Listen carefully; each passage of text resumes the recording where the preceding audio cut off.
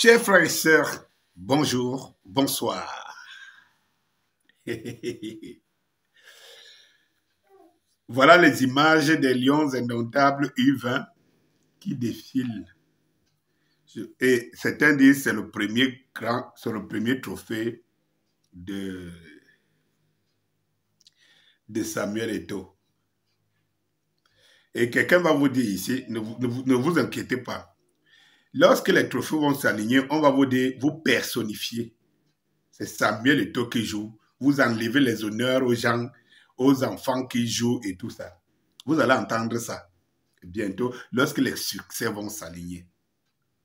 Mais que n'entendez-vous pas? Lorsque les défaites sont là C'est Samuel Eto'o. Depuis que Samuel Eto'o est là, on ne gagne pas. C'est Samuel Eto'o. On est habitué avec. On est habitué. Mes chers frères et sœurs, ce que je voudrais vous dire, ce n'est même pas le plus important, puisque je vous avais dit, vous savez, les adeptes, je suis un peu horrifié de voir que certaines personnes qui prétendent lutter pour l'émancipation du Cameroun, l'évolution du Cameroun, sont ceux qui enseignent à la jeunesse qui les écoute que le travail n'est pas important, ne paye pas. C'est le résultat. Est-ce qu'eux-mêmes y croient Je ne sais pas. Est-ce que c'est seulement pour une cabale Je ne sais pas. Parce que si les résultats commencent à venir, cela veut dire qu'il y a un travail de fond à faire. Mais nous sommes dans une culture où ceux qui sont des donneurs de leçons enseignent à leur progéniture et à leurs petits frères qui aiment bien les écouter que non, il n'y a pas un processus d'évolution, d'initiation hein, jusqu'au travail. Juger le travail, par exemple, de Samuel en l'instant T. Ça veut dire que c'est que l'Africa Foot n'a pas fait en 30 ans. On demande à Samuel les résultats en un an, voire en un an et demi. Au point où tu lui donnes même les leçons en disant ce n'est pas ta place, tu ne connais rien, c'est pas ton, tu, tu ne connais pas. J'aimerais seulement poser des questions à ceux-là. Qu'est-ce que eux ils connaissent? Qu'est-ce que eux ils connaissent? Bon. Chers frères et sœurs, ce qui est le plus important, c'est de vous dire comment je vois certaines images, j'ai préféré ne même pas les diffuser à mon tour, de Yannick Noah, qui harangue l'équipe nationale de rugby, qui leur enseigne notre soft power, par exemple, sans que ça ne meut des personnes. Je vois des brillants analystes prendre ça comme élément pour dire voilà comment il s'est managé. Il va même apprendre aux Blancs notre Himmler, notre soft power, notre Himmler. Brrr, J, J.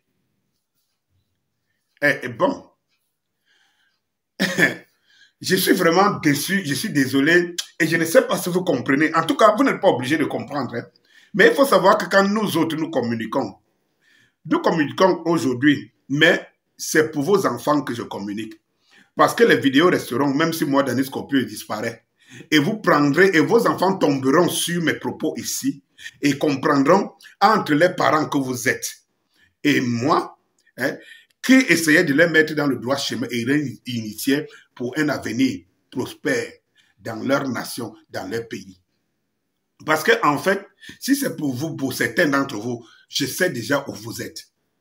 Et donc, mais ceux qui me suivent avec bon sens, ceux qui me suivent pour analyser, comprendre, sans avoir des préjugés, sans avoir des de, de rancœurs ou de quoi que ce soit de quelqu'un et tout, euh, sans être des passionnés, c'est pour eux là que je communique. C'est eux là que j'appelle des intellectuels.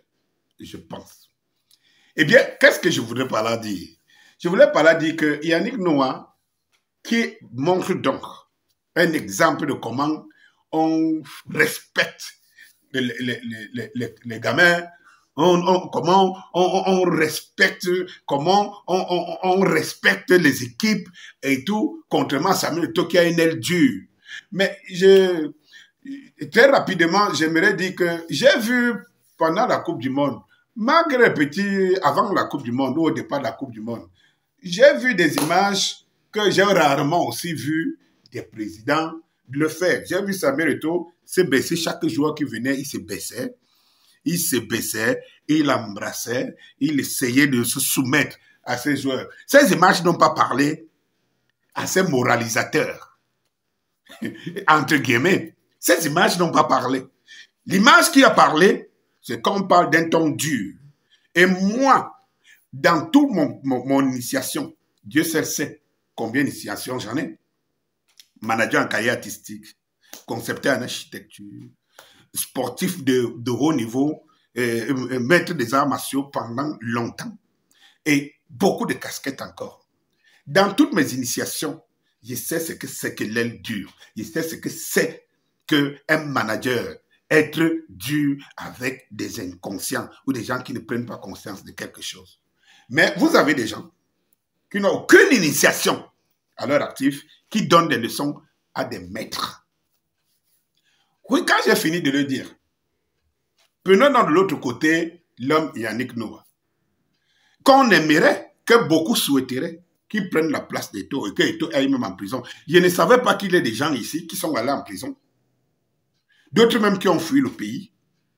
Mais ils estiment, ils aimeraient que d'autres personnes fassent la même prison. Donc, et ils dénoncent. Ah, cette prison est bonne pour les autres. Elle était mauvaise pour vous. Ou alors, aller en prison au Cameroun, il faut vraiment être, ça signifie qu'on est mauvais, qu'on le mérite. Mais dans ce cas, acceptez donc vous, si vous l'avez mérité. Parce que si vous souhaitez que Eto est en prison et que si, par malheur il part, vous allez dire, vous l'aviez averti, c'est son, management, et c'est ses coups, c'est ses machins qui l'ont envoyé en prison. Cela veut dire que cette prison au Cameroun, vous la dubez. Mais est-ce que ce n'est pas une façon, je m'adresse à vos enfants et à ceux qui vous, vos vassaux, ceux qui vous écoutent, 100%, est-ce que ce n'est pas aussi une façon de leur dire, de l'avouer, que vous, la prison que vous avez faite au Cameroun, vous l'avez méritée? Vous l'avez méritée Puisque vous la, vous, la souhaitez pour, votre, pour, pour Eto, comme gage de justice, comme gage de raison. Vous vous la souhaitez pour Eto. Cela veut dire que si vous vous y êtes passé, cela veut dire que vous dites à vos gens, vous acceptez. Ça, c'est une chose. La, troisième, pour moi, c'est de dire que Yannick Noah, qui arrange l'équipe de, et les enseigne comment on manage et montre comment on manage. Je pense que c'est là où la mémoire courte de ne pas savoir que Yannick Noah a été préparateur psychologique de l'équipe nationale du Cameroun de football. Je crois qu'ils ont la mémoire courte. J'aimerais seulement envoyer cela, aller demander quel était le résultat quel était le résultat du passage de Yannick Noah à l'équipe nationale de football? Quel était le résultat? Et c'était avec les qui? Je pense que c'était avec les mieux, les mieux gestionnaires de football de l'époque. Mais ça n'a pas fait bruit. Ça n'a pas fait bruit. Je pense qu'il y a une équipe nationale de rugby et il y a un championnat de rugby au Cameroun. Pourquoi Yannick Noah ne s'y intéresse pas? Pourquoi à chaque fois, vous prenez les références hein, peut-être des bienfaits, si bienfaits c'en est, de Yannick Noah en France. Pour venir le comparer à quelqu'un qui a mouillé toute sa vie et qui continue à mouiller pour le Cameroun. Je pense que si vous n'avez pas le cerveau, pour ceux qui écoutent ce genre de personnes, pour comprendre combien de fois vous êtes manipulé, ça veut dire que les gens prennent Yannick Noah et souhaitent qu'il remplace tout et non des références de Yannick Noah au Cameroun, au service du Cameroun, que les références, que ce que Yannick Noah a servi à la France, pas au Cameroun. Il faut encore être de très bonne moralité comme vous l'êtes, pour l'admettre. Pour l'admettre. Pour l'admettre. On a oublié que Yannick Noah a une double nationalité aussi. Et qu'il n'a que servi la France. Il est d'origine camerounaise, mais il n'a servi jusqu'aujourd'hui que la France. Il y a un nom a été succès du tennis. Roland Garros et tout. En France. Et il portait, je ne sais pas si quelqu'un a une image où il voit Yannick Noah avec le drapeau du Cameroun. En France. lors d'une victoire ou bien d'une démonstration quelconque, je ne sais pas. De deux, il y a le tennis au Cameroun. Et le père Yannick Noah, il est le tout premier à ouvrir des clubs de tennis au Cameroun. Donc Yannick Noah hérite. Et tout, je ne sais pas où le tennis camerounais est et qu'est-ce que Yannick Noah y a apporté.